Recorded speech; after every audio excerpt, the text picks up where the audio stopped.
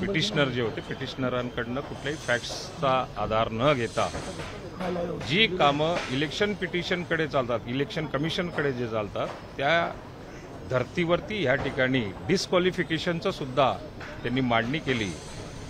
त्यांच्याजवळ कुठल्याही फॅक्ट्स नव्हत्या. या आधारावरती आम्हाला न्याय मिळेल अशी अपेक्षा आहे. आज एकूण चर्चेदरम्यान खरं तर एक असा विषय आला की शरद पवार हे प्राथमिक सदस्यच नाही असा एक विषय आला. तुम्हाला याबद्दल काही कल्पना आहे? बरेचसे नेते नाही ते बरेचसे नेते मी गेल्या सतरा दोन हजार सतरा पासून बरेचसे नेते ज्यांची अपॉइंटमेंट सातत्याने दोन हजार पंधरापासून केवळ फक्त अपॉइंटमेंट चालली होती. बरेचसे नेते हे प्राथमिक सदस्य असतील अशी मला शंका आहे.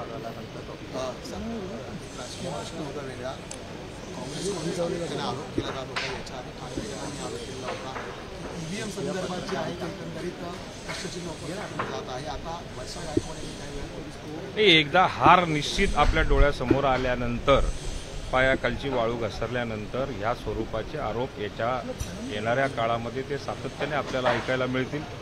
आणि निवडणुकीनंतर केवळ फक्त ईव्हीएम मशीनच्या बाबतीमध्येच आपण टोकर अंडी ईव्हीएम मशीनवर फोडायची ही भूमिका आजच काँग्रेस पक्षाने ठामपणे आपली समजूत ठामपणे आपली धरलेली आहे. आणि त्या दृष्टिकोनातून ईव्हीएम आम्हाला हरवतं.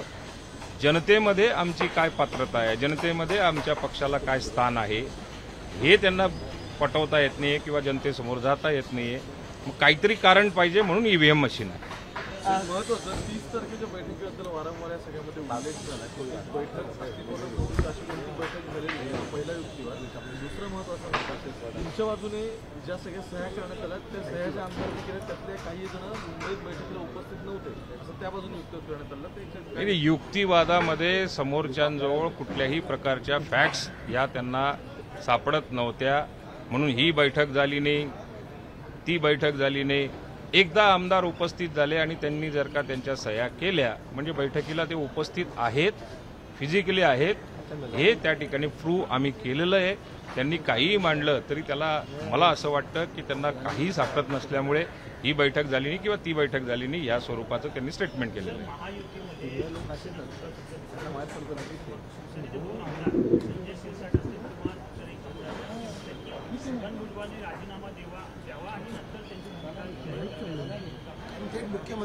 भूमिका नाही नाही एक एक एक सांगतो. भ- भुजबळ साहेब आपल्या आपल्या भूमिकेवरती ठाम आहे. गेल्या तीस पस्तीस वर्षापासून ती त्यांची भूमिका सातत्याने जनतेसमोर मांडतायत. ओबीसी करता त्यांचा सातत्याने लढा झालेला आहे. त्या गोष्टीचा आणि भुजबळ साहेबांच्या राजीनाम्याचा किंवा ओबीसीचा लढ्याच्या बाबतीमध्ये हे दोन वेगवेगळे विषय आहेत.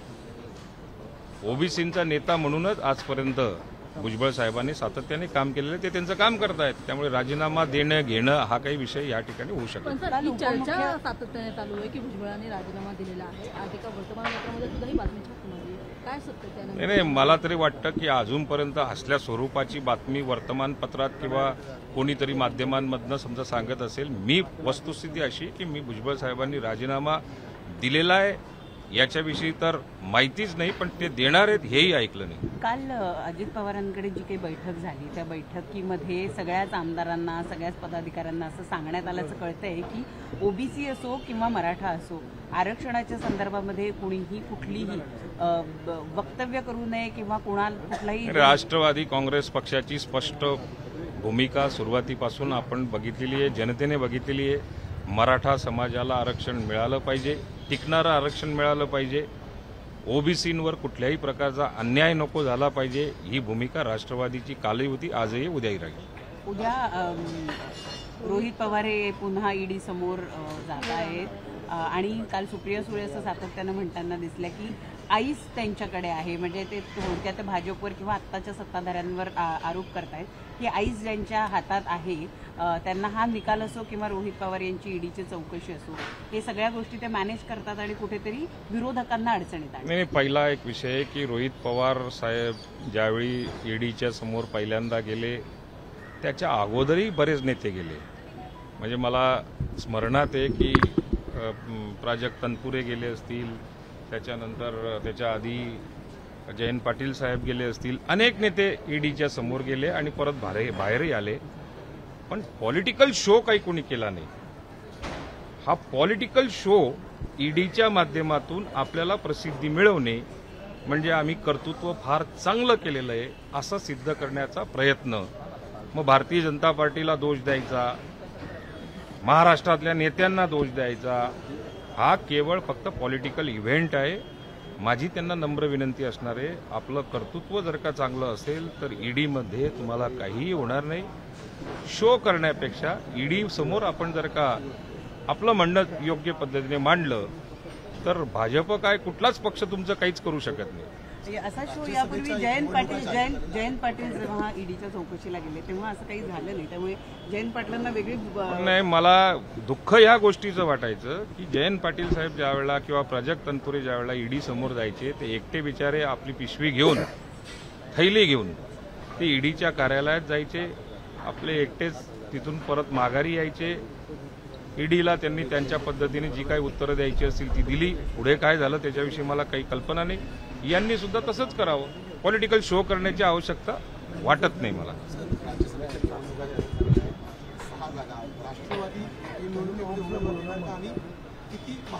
राष्ट्रवादी काँग्रेसची भूमिका सुरुवातीपासूनच. जसं आता इलेक्शन पिटी आपलं डिस्क्वालिफिकेशनमध्ये एक विषय निघाला की तुम्ही भारतीय जनता पार्टी बरोबर आहात गेलात असा एक प्रश्न वकिलांनी मला विचारला. दोन हजार एकोणीसमध्ये ज्या वेळेला आघाडीचं सरकार निर्माण झालं त्यावेळेला शिवसेनेबरोबर जायचा निर्णय कोणी घेतला? तो आदरणीय पवार साहेबांनी. परत सरकारमध्ये सामील व्हायचा निर्णय शिवसेनेबरोबर जाण्याचा निर्णय पवार साहेबांनी घेतला. आत्ता आम्ही जो निर्णय घेतलेला आहे तो कोणाबरोबर गेलेलो आहे? शिवसेनेबरोबरच गेलेलो आहे. जो राष्ट्रवादी काँग्रेस पक्षाचा दोन हजार एकोणीसपासून जो शिवसेनेच्या बरोबर जाण्याचा आणि सरकारमध्ये समावेश होण्याचा जो निर्णय दोन हजार एकोणीसला घेतला तोच आता पुढे शिवसेनेबरोबर जाण्याचा आम्ही निर्णय घेतलेला आहे. त्यामुळे येणाऱ्या काळामध्ये शिवसेनेचे असतील राष्ट्रवादीचे असतील भाजपचे असतील किंवा अन्य कुठल्या पक्षाचे असतील राष्ट्रवादी काँग्रेस पक्षाचे खासदार हे त्या राज्यसभेमध्ये जातील. निधीच्या बाबतीमध्ये काँग्रेस पक्ष हा आरोप जर का करत असेल अतिशय चुकीचा आहे. काँग्रेस पक्ष दोन हजार एकोणीसपासून जवळपास अडीच वर्ष सत्तेमध्ये होता. ज्या पद्धतीने त्यांनी निधीचं वितरण केलेलं होतं त्याच धर्तीवरती आत्तासुद्धा मागच्या एक वर्षापासून किंवा दीड वर्षापासून त्याच काँग्रेसच्या वाटचालीवरती सरकार काम करत आहे त्यामुळे समसमान निधी सगळ्यांना देण्याचा प्रयत्न असतो.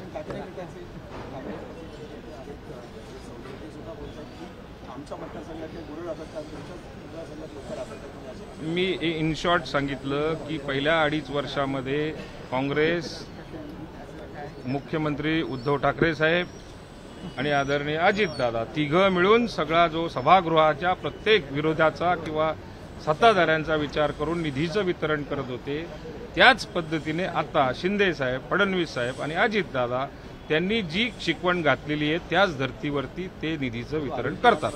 शिखर शिखर बँकेच्या प्रकरणामध्ये अजित पवारांना म्हणजे या संपूर्ण जवळपास चौऱ्याहत्तर जणांची नाव होते सगळ्यामध्ये. अजित पवारांना त्यातलं क्लीन चिट मिळाल्याचं समोर बघायचं या गोष्टीविषयी मला काही सांगता नाही येणार कारण त्या तो प्रश्न अजितदादांचा आहे त्यांना विचारलेला बरं सर, एक- शिखर बँकेचंच आणखी एका प्रकरणात उद्या रोहित पवारांना हे नाही नाही, मला मला नाही कल्पना त्याची. मला सांगता नाही येणार. का अ, सर मंडल आयोग जे आहे त्याला आव्हान देण्याचा विचार ज- जरांगे पाटील यांनी व्यक्त करून दाखवले तर दुसरीकडे अ, छगन भुजबळ म्हणालेत की मन- मंडल आयोगाला आव्हान देऊन दाखवाच असं ते म्हणतात नाही, आता एक- एक कुठे- माझा प्रश्न असा आहे की एकीकडे सरकार आरक्षण देतं म्हणताय दुसरीकडे सरकारमधलेच एक मंत्री त्या आरक्षणाला आव्हान देत आहेत त्यामुळे अ, दोन पक्षांमध्ये किंवा सरकारमध्ये आलबेल नाही असं विरोधक म्हणतात ने सम- महाराष्ट्रातल्या प्रत्येक समाज घटकांना आपल्याला न्याय देण्याच्या दृष्टिकोनातून आता आपसी कुठेतरी वक्तव्य करून या सगळ्या मराठा समाजाला किंवा ओबीसी समाजाला न्याय देण्याची भूमिका आपण मांडली पाहिजे. त्याच्यामध्ये एक मेक एक दुसऱ्याला समजा जर का आपण या स्वरूपाची वक्तव्य केली त्या समाजाचं कुठेतरी नुकसान होऊ शकतं. कुठल्या मंडल आयोगाला आपण चॅलेंज करणं हेही काही बरोबर नाही. शेवटी तो देशाचा निर्णय होता राज्याला हितकारी निर्णय होता ओबीसींच्या भल्याकरता होता. म्हणून कुठल्या आयोगाला आपण चॅलेंज करणं हे काही मला असं वाटतं की त्याच्यावरती कोणी भाष्य नको केलं पाहिजे. आणि एक दुसऱ्याला कुठे चॅलेंज करण्याची भूमिका ही योग्य नाही.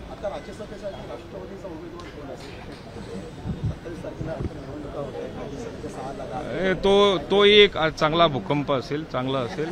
येणाऱ्या काळामध्ये राष्ट्रवादीचा सक्षम उमेदवार तुम्हाला राज्यसभेत दिसेल. एबीपी माझा उघडा डोळे बघा नीट.